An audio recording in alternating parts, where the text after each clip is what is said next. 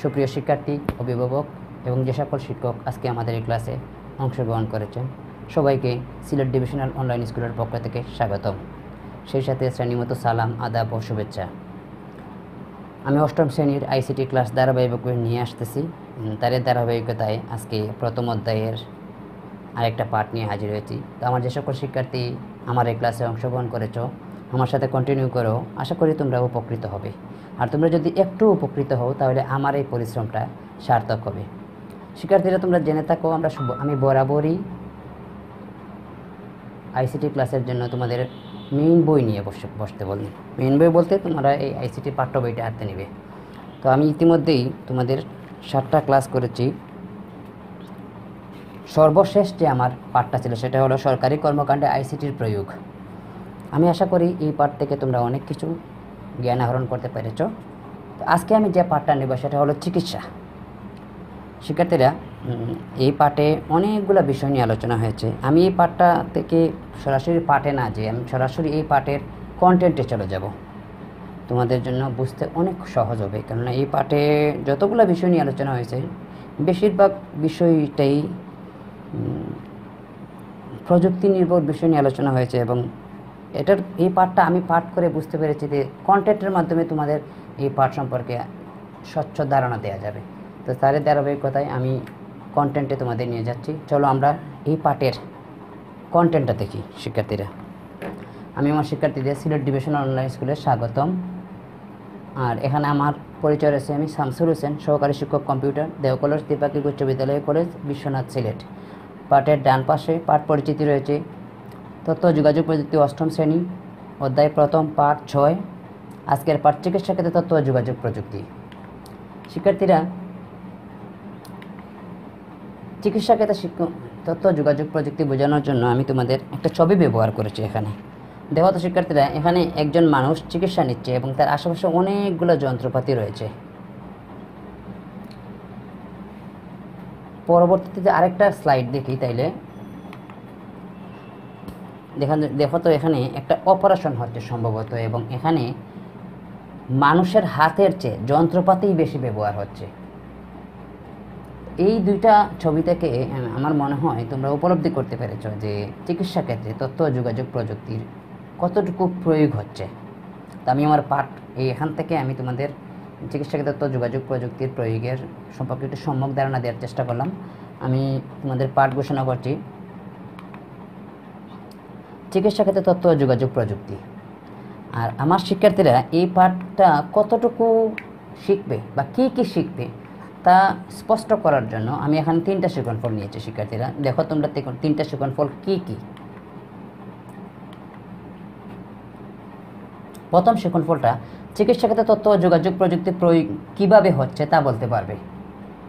চিকিৎসা ক্ষেত্রে তথ্য যোগাযোগ প্রযুক্তির প্রয়োগের সুবিধাসমূহ বর্ণনা করতে পারবে। টেলিমেডিসিন সম্পর্কে ব্যাখ্যা করতে পারবে। এই তিনটা বিষয় আমি এই তোমাদের পাঠটা পড়ে এখান থেকে নিয়েছি এবং এই তিনটা বিষয় নিয়ে আমরা পুরোটা ক্লাসে আলোচনা করব। তো শিক্ষার্থীরা, চলো আমরা সামনের দিকে আগাই। শিক্ষার্থীরা, প্রথম ফল যেটা ছিল যে চিকিৎসা ক্ষেত্রে তথ্য, যোগাযোগ প্রযুক্তি প্রয়োগ কীভাবে হচ্ছে? তো আমরা এটা দেখার জন্য আমি এখানে একটা ছবি ব্যবহার করেছি। দেখো তো শিক্ষার্থীরা, এখানে কিসের ছবি এটা? এখানে একটা এটা একটা ব্যানার বা পোস্টার এখানে লেখা আছে Medicare diagnostic and consultation centre Goalabazar Osmannagar Sylhet. এটা আমাদের সিলেটের একটা প্রতিষ্ঠান এবং আমাদের লোকাল একটা প্রতিষ্ঠান। Medicare diagnostic and consultation centre এখানে তোমরা বুঝে নিয়েছো সম্ভবত এটা একটা ডায়াগনস্টিক সেন্টার এবং এখানে কনসালটেশন হয়। যেমন রোগী দেখানো যায়, ডাক্তার দেখে। এখানে কি কি সেবা পাওয়া যায়? আমরা যদি দেখতে চাই তাহলে দেখি যে ডিজিটাল এক্স রে হয় এখানে। ইসিজি হয় আলট্রাসনোগ্রাম হয় biochemistry immunology serology haematology microbiology শিক্ষার্থীরা, এর বাইরে এখানে চব্বিশ ঘণ্টা জরুরি বিভাগ বেড সুবিধা সহ প্রতিদিন বিশেষজ্ঞ, ডাক্তারের চেম্বার সেবা, চব্বিশ ঘণ্টা ফার্মেসি। এই সবগুলা সেবাই এই ডায়াগনস্টিক সেন্টারে দেওয়া হয়। তো একটু যদি লক্ষ্য করো তোমরা ডিজিটাল এক্স রে প্রথমেই যে বলা হচ্ছে digital X ray ECG ultrasonogram biochemistry immunology serology haematology microbiology এই যতগুলো পরীক্ষা এখানে হচ্ছে, কোনো পরীক্ষায় কি কম্পিউটার ছাড়া হচ্ছে? আমার মনে হয় না সম্ভব এটা। বর্তমানে ডায়াগনস্টিক সেন্টারগুলো পুরোটাই কম্পিউটার নির্ভর। এবং এই সবগুলা সেবা দেওয়ার জন্য কম্পিউটারকে মূল অবলম্বন করে ওনারা পরীক্ষা নিরীক্ষা করে থাকে। এর বাইরে যদি আমরা দেখি ডাক্তার, প্রতিদিন বিশেষজ্ঞ ডাক্তার চিকিৎসা দেবেন। একজন রোগী যাওয়ার পরে ডাক্তারের কাছে তার প্রবলেমটা বলল বা সমস্যাটা বলার পরে ডাক্তার কী করেন? একটা সময় ছিল নাড়ি টিপে টিপে ডাক্তাররা রোগ নির্ণয় করতেন, এখন কিন্তু সেই দিন নাই আর।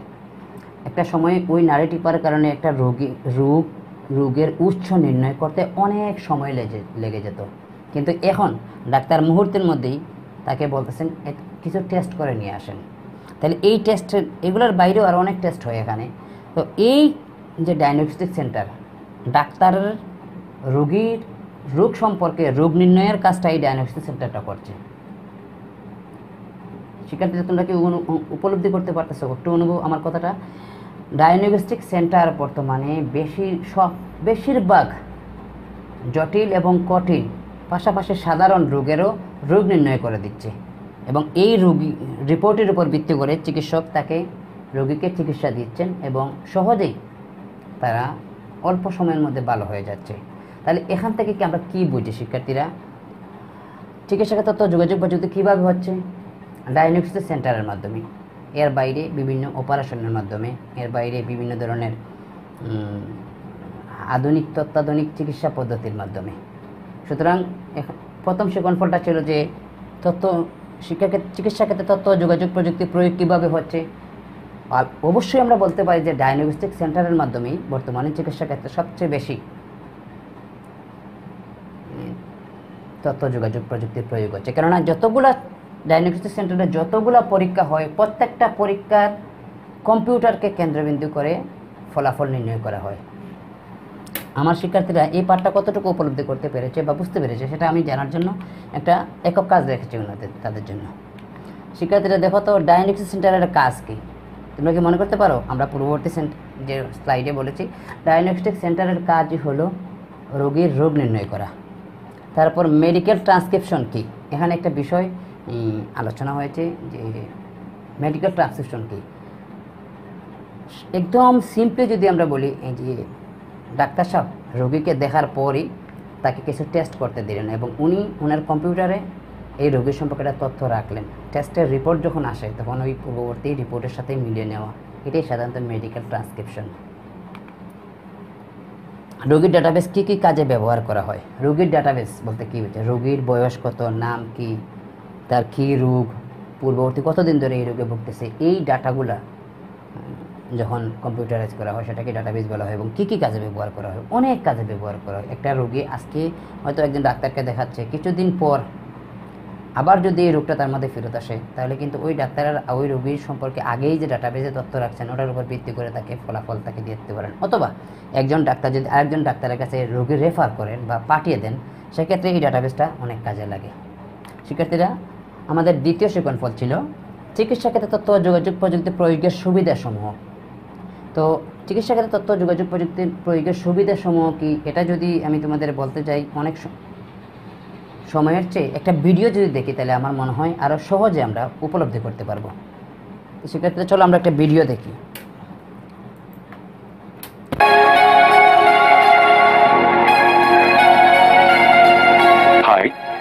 Name please. Sharad Kumar, Phone number please. 9030-300-300. Let me check your body temperature. Please take a step back and look into the camera. Your current body temperature is 100.8 degrees Fahrenheit. Do you have a fever, cough, throat pain or difficulty in breathing? Yes, I'm feeling feverish. The screening is complete. Now you will need to go to flu clinic for further assistance.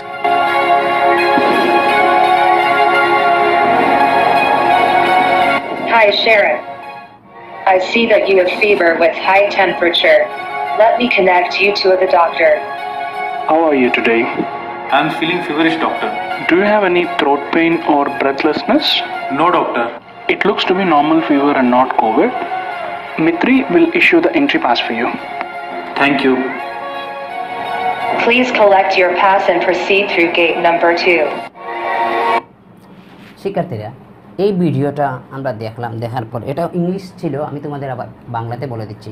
এই একজন রোগী যখন প্রথমেই এই medical সেন্টারে তার ট্রিটমেন্টের জন্য আসে বা চিকিৎসার জন্য আসে, প্রথমেই কিন্তু এই একটা এখানে দেখছ কম্পিউটার একটা রোবট রয়েছে। এই রোবটটা তার বডিটা স্ক্যান করেছে এবং তার কাছে যে বিভিন্ন রোগীর আগের যে ডাটাবেস ছিল বা এই রোগীটা আগে যদি আসতো, তাহলে তার তথ্যের সাথে সে মিলিয়ে নিত। যদি মিলতো, তাহলে তার সম্পর্কে সহজ, আরেকটু সহজে কাজ হতো। কিন্তু না, প্রথমে স্ক্যান করার পর দেখল যে সে মিললো না। তারপর বলল হাই তারপর বলল নেম প্লিজ রোগীটা যখন নাম বলল, তখন বলল যে প্রবলেমটা কি? তখন বলল যে, আমি জ্বর অনুভব করতেছি। তখন সে বলল যে, ঠিক আছে, আপনি একটা স্টেপ পিছনে যান এবং ক্যামেরার সামনে দাঁড়ান। ক্যামেরার সামনে দাঁড়ানোর সাথে সাথেই সে কিন্তু তার জ্বর মেপে নিল। পাশাপাশি তার হার্টবিট তোমরা কোনায় দেখাচ্ছে হয়তো বা তার হার্টবিট বা কতটুকু ইসিজিটা সে সাথে সাথে করে নিছে। এর বাইরে গিয়ে তাকে তার ফোন নাম্বার জিজ্ঞেস করছে এবং এই তথ্যগুলা সে পরবর্তী রোবটের কাছে পাঠিয়ে দিয়েছে এবং তাকে বলছে যে, তুমি পরবর্তী রোবটের কাছে ভিতরে যান। ভিতরে যাওয়ার পর তোমরা দেখেছে, এই পরবর্তী রোবটটা কিন্তু তাকে আগেই বলছে, হাই সুরুজ। তার মানে কি? এই দুইটা রোবটের মধ্যে একটা কমিউনিকেশন রয়েছে এবং তথ্য আগেই চলে যাচ্ছে। এরপর তাকে যখন জিজ্ঞেস করল, তার সমস্যা কি? সমস্যা যখন বলার পর সে ডাক্তারের সাথে তার কমিউনিকেশন করে দিল। এখানে কতগুলা সুবিধা আমরা দেখলাম। বর্তমানে যে কোভিড নাইন্টিন বা করোনা ভাইরাসের কারণে আমরা যে, এটা এমন এক ভাইরাস, ছোঁয়াচে রূপ। এটা বাতাসেও চড়ায় সুতরাং এখানে যদি কোনো একজন সাধারণ মানুষ যদি থাকতো তাকে ওই রোগীটাকে ধরলে হয়তো করোনা হওয়ার সম্ভাবনা ছিল, কিন্তু রোবটের এই করোনা হওয়ার সম্ভাবনা নাই। তাহলে এখানে রোবট রোবট আসার কারণে মানে তথ্য প্রযুক্তির ব্যবহারের ফলে মানুষের লাইফ এখানে সেভ হচ্ছে। তারপর আগে ছিল যেখানে হাতে কলমে কাজ এখন সেখানে কম্পিউটারাইজ পুরোটাই স্ক্যান করে নিচ্ছে। পাশাপাশি আগে ছিল একটা ডেস্ক থেকে আরেকটা ডেস্কের তথ্য পাঠানোর জন্য একটু সময় লাগতো। আমাদের দেশে এখনও সেটা রয়েছে, কিন্তু এটা বাইরের বিশ্বের একটা ভিডিও আমি তোমাদের দেখালাম। সেখানে কিন্তু রোগী যাওয়ার আগেই তার তথ্য কিন্তু পরবর্তী ডেস্কে চলে যাচ্ছে। এখানে অনেকগুলো সুবিধা দেখলাম। এর বাইরে আরও অনেক সুবিধা আছে। যেমন একটু আগে যদি আমি তোমাদের মেডিকেল ডায়াগনস্টিক সেন্টারে যেটা বললাম, তোমাদের দেখালাম প্রথম স্লাইডে এখানে গিয়ে আগে যেখানে ছিল ডাক্তার, এখানে রোগী দেখতো, তারপর আরেকটা ডায়াগনস্টিক সেন্টারে পাঠাতো। ওখান থেকে ট্রিটমেন্ট মানে সবগুলা স্ক্যান বা পরীক্ষা করার পর রিপোর্ট আসতে আসতে সময় লাগতো। এখন কিন্তু সেগুলো কমে গেছে। সময় বাঁচছে, মানুষের লাইফ বাঁচতেছে। সুতরাং এখানে ছিল আমাদের মূল সুকল্পল ছিল চিকিৎসাকে তথ্য, যোগাযোগ প্রযুক্তি, প্রয়োগের সুবিধাসমূহ। আমরা কি এখন কয়েকটা সুবিধার কথা লিখতে পারব? শিক্ষার্থীরা, পরবর্তী স্লাইডে যাই, আমরা চলো দেখি। আমরা যদি এই ভিডিও এবং আমাদের এই কথাগুলো যদি কয়েকটা ইন্ডিকেশনের মধ্যে নিয়ে আসে, তাহলে কি হয় দেখো? নির্ভুল রোগ নির্ণয় করা সম্ভব হচ্ছে কেন? ডায়াগনস্টিক সেন্টারের কারণে নির্ভুলভাবে রোগ নির্ণয় করা সম্ভব হচ্ছে। রোগ ও রোগীর তথ্য ডাটাবেসে সংরক্ষণ করা সম্ভব হচ্ছে। দেখ, তোমরা ইতিমধ্যে দেখছ, এই রিপোর্টের মাধ্যমে তার সব তথ্য পরবর্তী রোগীর কাছে পাঠিয়ে দিয়েছে। শুধু তাই নয় এটার মধ্যে কিন্তু সংরক্ষণ হচ্ছে। সফটওয়্যারের মাধ্যমে প্রেসক্রিপশন করা যায়। এখন সব, বেশিরভাগ ভালো ভালো ডাক্তার। আমাদের দেশেও কিন্তু অনেক ডাক্তার রয়েছেন, ওনারা কিন্তু সফটওয়্যারের মাধ্যমে প্রেসক্রিপশন করেন। এর অনেকগুলো সুবিধা রয়েছে কিন্তু সফটওয়্যারের মাধ্যমে প্রেসক্রিপশন করলে এই প্রেসক্রিপশনটা অনেক সময় রোগী প্রেসক্রিপশন হারিয়ে ফেলে, কিন্তু ডাক্তারের কাছে যদি পরবর্তীতে আবার আসে, তাহলে তার এই তথ্যটা আগেই ডাক্তারের কাছে প্রেসক্রিপশনটা ওনার কম্পিউটারে সেভ করা আছে। সুতরাং এখানে এই ধরনের সমস্যাগুলো থেকে বাঁচা যায়। রোগ ও রোগীর উপর ভিত্তি করে নতুন নতুন যন্ত্রপাতি আবিষ্কার হচ্ছে। তোমরা জানো যে একটা সময় ছিল, আজকে কিন্তু একটা সময় ছিল আমাদের থার্মোমিটার আমরা আগে আমরা ছোটোবেলায় বগলও দিয়ে মাপতাম, এখন আমরা মুখে দিয়ে মাপতেছি। কিন্তু এখন এটাও কিন্তু রিক্স একজনেরটা আরেকজনের গায়ে লাগতেছে। কিন্তু এখন এমন থার্মোমিটার আসছে, তোমার শরীরের সামনে শুধু ধরলেই সেটা স্ক্যান হয়ে যাচ্ছে। তাহলে রোগ এবং রোগীর ভিতরে নতুন নতুন যন্ত্রপাতি আবিষ্কার হচ্ছে, আরও অনেক যন্ত্রপাতি আবিষ্কার হচ্ছে। রোগের উপর গবেষণা করে জিনোম রহস্যভেদ করা হয়েছে। জিনোম কি? প্রশ্ন থাকতে পারে শিক্ষার্থীদের, জিনোম কি? জিনগত সমস্যা, যেমন আমার জন্ম প্রত্যেকে হলো আমার জন পূর্বপুরুষের সব তথ্য কিন্তু আমার শরীরের একটা জিন থেকে নিয়ে এখানে স্ক্যান করে বের করা যায় এখন। এই যে জিনগত মানুষের মানুষ সহ বিভিন্ন, তোমরা জানো যে আমাদের দেশের পাটের জিনও আবিষ্কার করেছেন পৃথিবীতে প্রথম আমাদের দেশের ডক্টর মাকসুদ নামে একজন বিজ্ঞানী। এবং উনি প্রথম আবিষ্কার করেছেন পাট কীভাবে আমাদের পৃথিবীতে আসলো। ঠিক তেমনি মানুষ কীভাবে আসছে এবং মানুষের বংশগতি সম্পর্কে যে গবেষণা করা হয় সেটাকে এই জিনোম বলা হচ্ছে। এবং মানুষের এই একজন বাচ্চা, একটা বাচ্চা বিকলাঙ্গ হয়ে জন্ম নেয়। কিন্তু তখন তার পূর্ববর্তী, তার জিন থেকে নিয়ে দেখা যায় তার পূর্ববর্তী বংশদের মধ্যে কারও এই প্রবলেম আসছিল কিনা। এখন যদি কোনো বাচ্চা নতুন মায়ের গর্ভে আসে, সেই বাচ্চার বডি স্ক্যান করে কোনো, একটা যদি সামান্যতম কোনো জিনগত কোনো সমস্যা পাওয়া যায়, সেটাকে সরিয়ে এখানে ভালো একটা জিন দেওয়া যায়। এটা এই জিনোম রহস্যভেদের কারণে সম্ভব হয়েছে। যন্ত্রের মাধ্যমে নির্ভুল অপারেশন করা সম্ভব হচ্ছে। এই ব্যাপারে বলার অপেক্ষা রাখে না সেক্ষেত্রে একটা সময় ছিল মানুষ বডি কেটে অপারেশন করা হতো। এখানে অনেক সমস্যা ছিল। কিন্তু এখন একটা যন্ত্রের মাধ্যমে অপারেশন করা হয়। যন্ত্রের মাধ্যমে গলা দিয়ে ভিতরে ঢোকানো হয়। ওটা তার কাজ সেরে আবার যন্ত্রটা বের করে নিয়ে আসা হয়। তো শিক্ষার্থীরা তোমাদের জন্য একটা উন্মুক্ত কাজ রেখেছি তোমরা এই কাজটা। তোমাদের, তোমরা একটা টিকা লিখবে। কেন লিখবে? নিজেদের পড়াশোনাটা নিজেরা যাচাই করার জন্য। আধুনিক চিকিৎসা ও গবেষণা তথ্য প্রযুক্তির উপর পুরোপুরি নির্ভরশীল। আধুনিক চিকিৎসা ও গবেষণা তথ্য প্রযুক্তির উপর পুরোপুরি নির্ভরশীল। এই ব্যাপারে একটা টিকা লিখবে। তুমি নিজে যাই বোঝো, তাই লিখবে। খুব আহামরি কিছু লিখতে হবে এমন না। তুমি যা বোঝো, আমার এই কন্টেন্টটা দেখবে। আধুনিক চিকিৎসা ও গবেষণা তথ্য প্রযুক্তির উপর পুরোপুরি নির্ভরশীল। এই বিষয়টা টিকা লিখবে। পরবর্তী টেলিমেডিসিন সম্পর্কে ব্যাখ্যা করো করতে পারবে শিক্ষার্থীরা টেলিমেডিসিন এই বিষয়ে তোমরা ইতিমধ্যে দেখে ফেলেছো আমি আবার ওই স্লাইডটা তোমাদের দেখাচ্ছি তোমাদের সুবিধার জন্য টেলিমেডিসিন কি আমরা এই ভিডিওটা দেখলে একটু বুঝতে পারব Hi, Sharon. I see that you have fever with high temperature. Let me connect you to the doctor. How are you today? I'm feeling feverish, doctor. Do you have any throat pain or breathlessness? No, doctor. It looks to be normal fever and not COVID. Mitri will issue the entry pass for you. Thank you. Please collect your pass and proceed through gate number two. শিক্ষার্থীরা এই ভিডিওটা আগেও দেখাচ্ছ এখনও দেখালাম তো আগে এই বিষয়টা আমি ব্যাখ্যা করে নিই এখন বলতেছি টেলিমেডিসিন টেলিমেডিসিন এখানে দুইটা শব্দ তো আমরা এই ভিডিওটা দেখে কি টেলিমেডিসিনের একটা সংজ্ঞা দিতে পারি শিক্ষার্থীরা চেষ্টা করি তো আমরা দেখি। আচ্ছা আমি তোমাদের একটা ছবি দেখাচ্ছি। দেখো কি এখানে এই ছবি দেখো এই ছবি এখানে শহরের চিকিৎসক ইন্টারনেটের মাধ্যমে টেলিফোন এবং ইন্টারনেটের মাধ্যমে গ্রামের রোগীকে চিকিৎসা দিচ্ছেন। এটাই টেলিমেডিসিন টেলিফোন বা ইন্টারনেটের মাধ্যমে চিকিৎসা সেবা দেওয়াকে টেলিমেডিসিন বলা হয়। সেক্ষেত্রে টেলিমেডিসিন মানে টেলিফোন অথবা ইন্টারনেটকে কেন্দ্র করে যে চিকিৎসা সেবাটা দেওয়া হচ্ছে সেটাকেই টেলিমেডিসিন বলা হচ্ছে। তো আমার শিক্ষার্থীরা, তোমাদের এই পাঠটার প্রায় শেষ পর্যায়ে চলে আসছি। আমি সব সময় তোমাদের পাঠের মূল্যায়ন করি। তোমরা নিজেরাই মূল্যায়ন করবে তোমাদের, নিজেদের জন্য, পড়াশোনাটা নিজেদের জন্য। বর্তমানে রোগীর নির্ভুল রোগ নির্ণয় করে কারা? বলতে পারবে? বর্তমানে রোগীর নির্ভুল রোগ নির্ণয়টা করে ডায়াগনস্টিক সেন্টার রোগীর ডাটাবেসে কি থাকে? ডাটাবেসে কি কি থাকে? রোগীর নাম, বয়স তারপর তার রোগের কতদিন ধরে এই রোগটা, রোগের জন্য কী কী চিকিৎসা দেওয়া হচ্ছে, এগুলোই ডাটাবেসে থাকে। জিনোম কি? শিক্ষার্থীরা মনে করতে পারে জিনোম কি? জি, মানুষের জিনগত সমস্যা এবং তার সমাধানের জন্য যে গবেষণা করা হয়, বা মানুষের জন্ম বংশগতি সম্পর্কে যে গবেষণা করা হয় সেটাকে জিনোম বলা হচ্ছে। টেলিমেডিসিনের সবচেয়ে বড় সুবিধা কী? টেলিমেডিসিনের সবচেয়ে বড় সুবিধা হলো আমি যখন ইচ্ছা আমি চিকিৎসা নিতে পারি আমার চিকিৎসকের কাছ থেকে।